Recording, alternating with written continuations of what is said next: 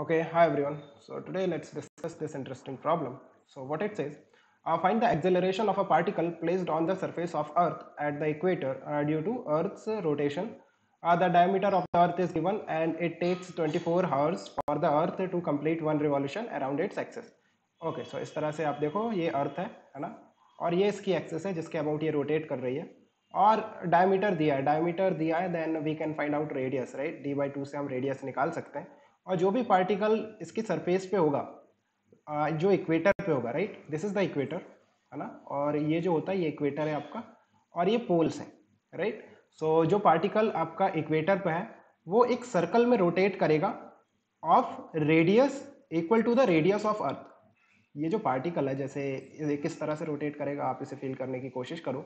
ये इसी एक्सेस के अबाउट रोटेट करेगा और इसका जो सर्कल बनेगा रोटेशन का है ना? इस पार्टिकल का जो रोटेशन है एक सर्कल में और उस सर्कल का जो रेडियस है वो अर्थ के रेडियस के बराबर होगा which is capital R which is D by two so what will be the value of acceleration which is omega square to R right we know the value of R omega निकालना है. So so, omega क्या होता है? Two pi upon time period right omega is the angular speed और angular speed हम कैसे निकालते हैं? कि कितना इसने एंगुलर डिस्टेंस ट्रेवल किया? एक टाइम पीरियड में विच इज़ टू पाई है ना? अगर ये वन सर्कल कंप्लीट करता है तो इसका एंगुलर डिस्टेंस कितना होगा? Two pi upon time that will give you the value of angular speed एक बार ओमेगा आ गया.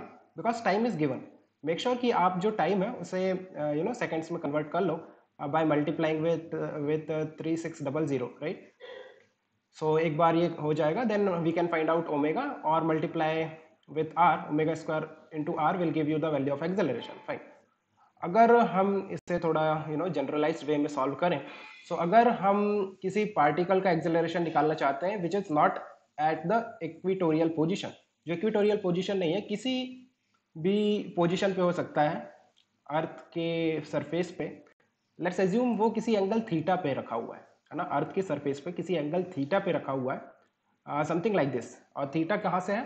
Theta is from the equator equator से किसी एंगल थीटा पे है वो पार्टिकल अर्थ के सरफेस पे।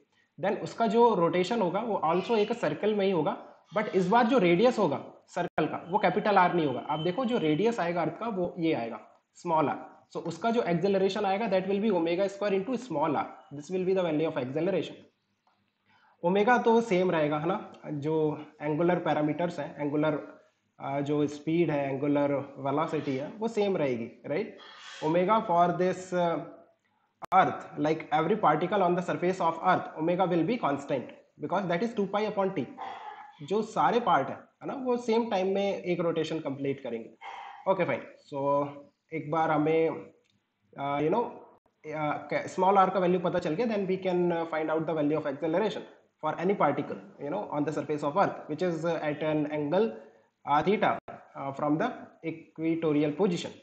So so, अब हमें क्या पत निकालना है? स्मॉल आर और small R we can easily find out देखो ये एंगल अगर थीटा तो ये एंगल भी थीटा होगा.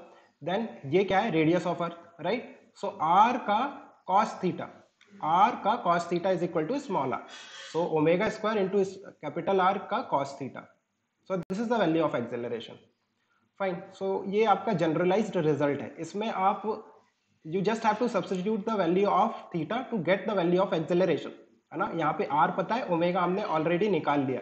सो so, जैसे इक्वेटर की मैं बात करूँ इक्वेटोरियल पोजिशन पे तो थीटा कितना हो जाएगा? ज़ीरो और cos zero is equal to one so acceleration will be omega square into R है ना? जैसे मैं कहूँ सिक्सटी डिग्री पे कोई पार्टिकल रखा हुआ है अर्थ के सरफेस पे then what will be the value of centripetal acceleration that particle? So you have to substitute uh, theta is equal to 60 degree. So omega square r upon 2 और आप देखो इंटरेस्टिंग केस होगा जब theta is equal to 90 degree होगा। वहाँ पे आपका acceleration zero आ जाएगा।